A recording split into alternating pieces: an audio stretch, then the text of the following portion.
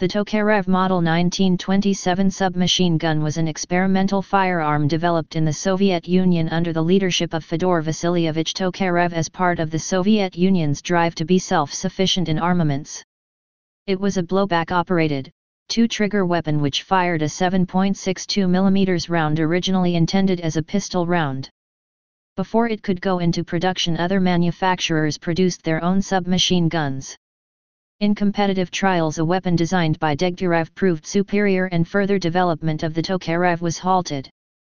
Origin Owing to supply problems, in 1924 the Soviet leadership decided to abandon all weapons using foreign ammunition. As a consequence, production of the Fedorov Avtomat was halted in 1925 and was withdrawn from service by 1928. In 1925 the Soviet Army Commission for Weapons decided that submachine guns should be introduced into Army service, initially as offensive weapons for low-ranking officers. Consequently, a contest was started the following year for such weapons. Tokarev, who was familiar with Fedorov's work, decided to take up the challenge of producing a suitable substitute weapon that would work with permissible ammunition.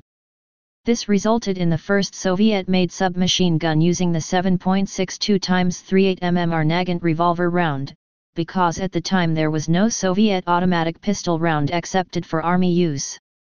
Description The 1927 Tokarev is a blowback-operated weapon, capable of selective fire, which is achieved by using two triggers. The rear trigger fired a single shot, while the front trigger was for fully automatic fire. The butt of the gun has a storage cavity for an additional magazine.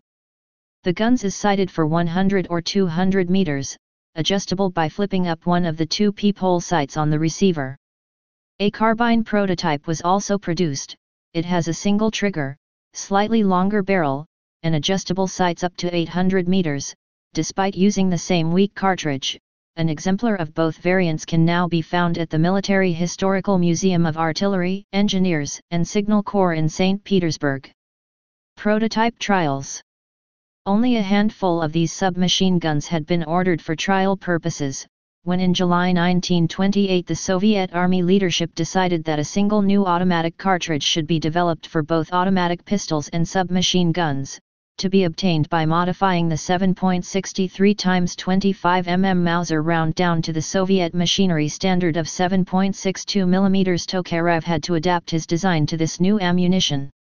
By then the competition had been joined by designs from Degtyarev and Korovin, who designed their weapons directly for the new round. Trials were conducted in July 1930, pitted Tokarev models chambered for both rounds against these other two domestic competitors. The Army Commission was rather dissatisfied with all guns presented at this trial. Eventually, in February 1931, the Army ordered 500 Tokarevs chambered in the revolver round, to be sent to the troops for more extensive trials. The feedback received from the troops was apparently negative.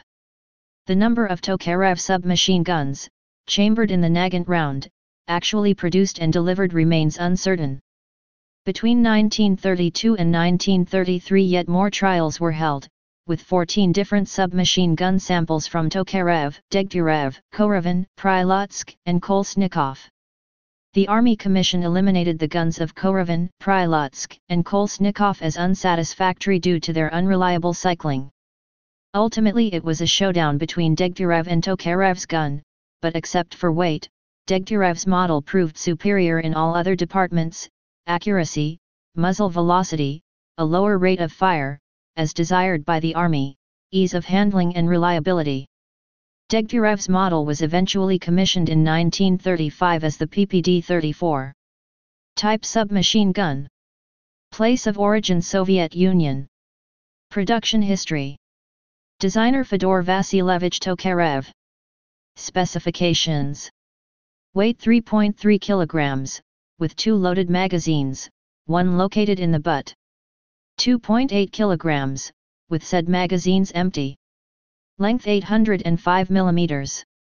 Cartridge 7.62 x 38 mmR Nagant.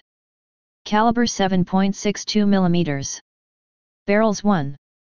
Action blowback. Rate of fire 1100-1200 rpm. Muzzle velocity 302 m/s. Effective firing range 200 m. Feed system 21 round box magazine. Sights iron. Please subscribe and thanks for watching.